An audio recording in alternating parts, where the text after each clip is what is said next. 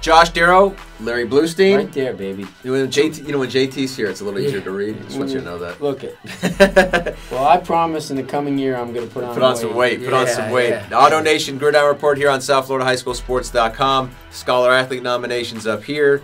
Thousand dollars to your school, a winner each month for and Broward County. So we are just off the back-to-back weekends at the state championship games, and so we're going to use this platform to focus on a couple of players, essentially who helped themselves the most in the postseason.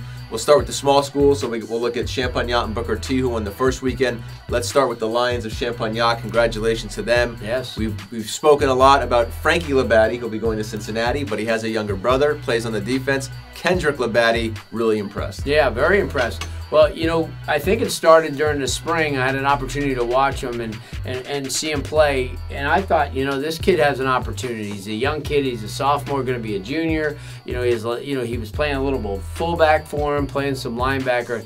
By the end of the season, as you mentioned, in the state title game against Victory Christian of Lakeland, this is a kid that really showed up, Josh. I mean, he came to play. He knew exactly where the ball was going. All you know, he he harassed people in the backfield. He dropped into coverage. I, you know, one of these kids that really got the stock. You know, he's not the biggest guy in the world, so he's always going to have to play on his ability to, to be a non-stop kid from whistle to whistle. A motor guy. Yeah, He's a nothing motor- wrong with guy. that though. No. All right, so now Booker T, man. Uh, everyone sort of has helped, has helped themselves over their career Yes. at, at Booker T, Yes, they but. have.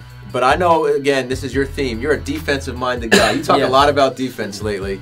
So we look at the Booker T defense. You know about Chad Thomas. You know about Tevin Evans, Nigel Bethel, uh, some of the linebackers as well. But a guy that you want to look at is along that defensive line, plays in the middle. He's also a bit undersized, but Yeah. very productive, and that's Tyrone Robinson. Well, they're all kind of tweeners on defense, you know, unless you're a big hulking guy like uh, Thomas. I mean, who's, who's, who's a good size. Everyone else, like you mentioned, Tevin Evans- Evans is a 6'1", 200 pound defensive end. You don't find them that, you know, they have to drop back a little bit.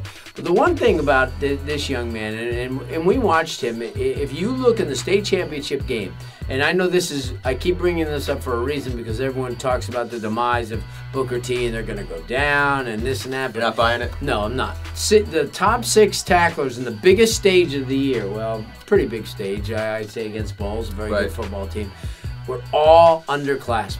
That points to one thing: that they're going to be a very sound defensive football team again next year. And that and that guys like this gentleman right here could step up at any time and, and, and make plays, and he did. If you, I've, I had an opportunity like you did to see him plenty this year. We, we watched him four, five, six times plus the two TV games.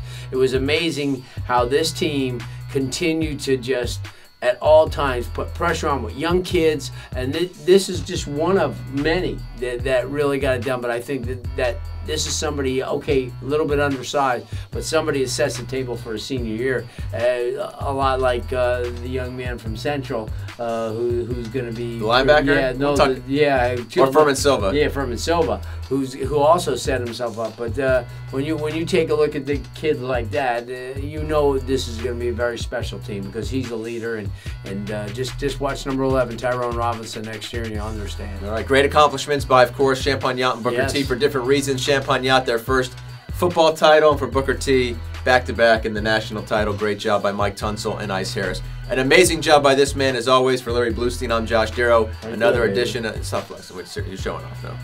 Of the AutoNation Gridiron Report here on South Florida High School Sports.com.